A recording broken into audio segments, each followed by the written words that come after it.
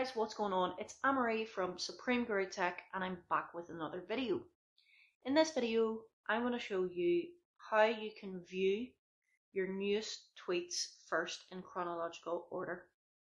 So if I go in to Twitter now, you will notice that if I go to the, the most recent tweets here, so yes, there's something from 17 seconds ago, but there's other tweets here from like five hours ago, nine hours ago, so it's not showing me my tweets in the most latest order.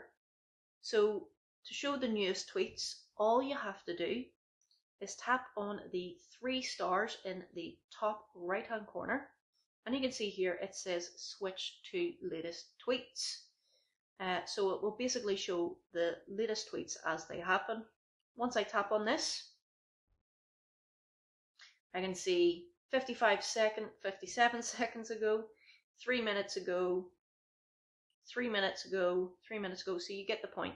This will show you your latest tweets. Now the great thing about this is if I close the app and open it up fresh, it will still give me that view of the latest tweets.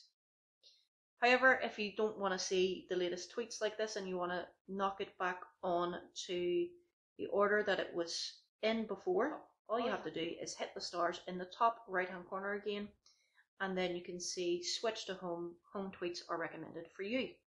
And then all I have to do is hit that, and that will put it back to its normal order of tweets. So hopefully this video helped you. If you want to see more videos like this, then why not subscribe to my channel.